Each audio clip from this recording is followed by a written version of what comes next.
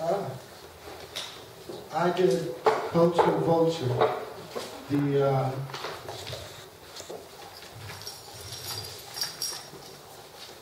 the image was sent to me by email, and as usual, digital, you always lose something, or you just want to get it done. So I took a look at this and I thought, looks like uh, Thanksgiving arrived early. so I didn't read any of the text. For some reason, my Mac censored it.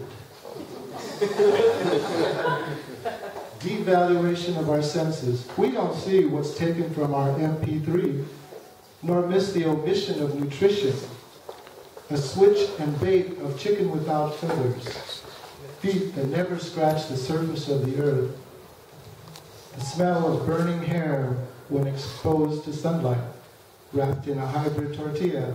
Check the expiration date and expect to pay more for the culture that bags, for the plastic that bags our culture.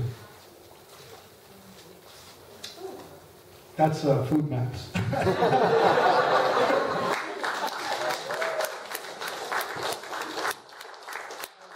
I would be remiss if I, I talk about.